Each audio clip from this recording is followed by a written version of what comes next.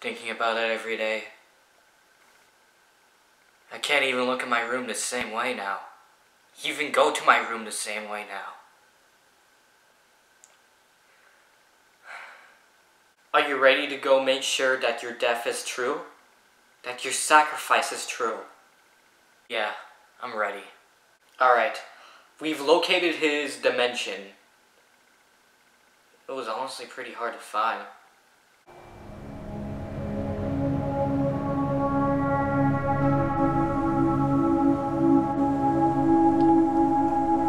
So this is the place.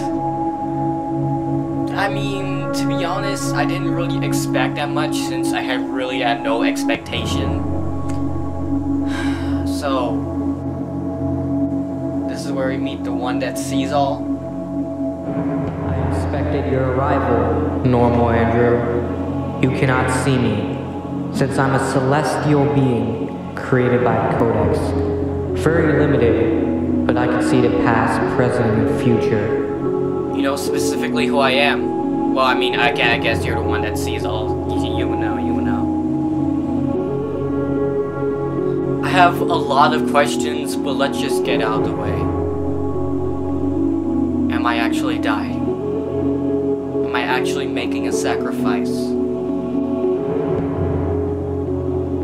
Yes, you die. In this war? I cannot tell you specifically where, but you die on August 10th, 2020. It's not fair.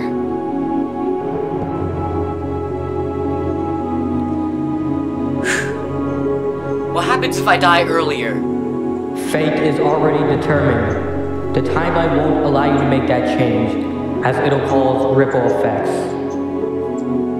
But I don't get it. What if we enter the war now? Once again, the timeline won't allow you. You're so powerful, why not just take him down yourself? I've been cast out by the Creator after realizing how powerful I am. I don't want to hear anything about this false god crack because none of you are forbidden. It's okay, it's okay. We got our answers. Let's get out of here.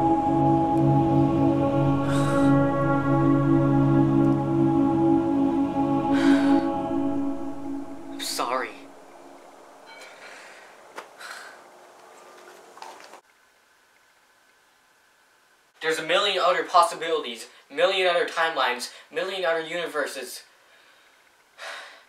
This could turn out differently than the way it should be. And we're gonna make sure everyone, the team, your friends, your family, everyone is gonna make sure that forbidden. It's official. I'm not gonna fight my fate. If this sees it all, knows it, then it's happening.